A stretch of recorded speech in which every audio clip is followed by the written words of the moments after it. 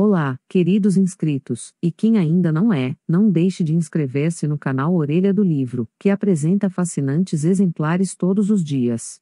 Hoje teremos o seguinte: Livro: Os 100 Anos de Lene e Margot, um romance. Por Mariane Cronin. Categoria: Romance. Uma amizade extraordinária. 100 anos de histórias prestes a serem contadas. Antes que seja tarde demais. Leni é uma adolescente de 17 anos, dona de uma personalidade especial e de muito carisma. Pode-se dizer que é uma garota cheia de vida. Exceto que, segundo os médicos, ela está à beira da morte.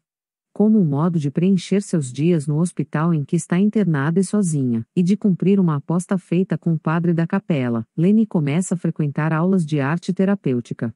E é então que conhece Margot, uma senhora de 83 anos, doce de coração rebelde como de Lene.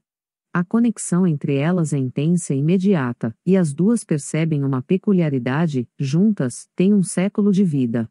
Para celebrar esses 100 anos que compartilham, decidem montar uma exposição de 100 pinturas. Em cada uma, retratam uma memória importante dos anos que viveram.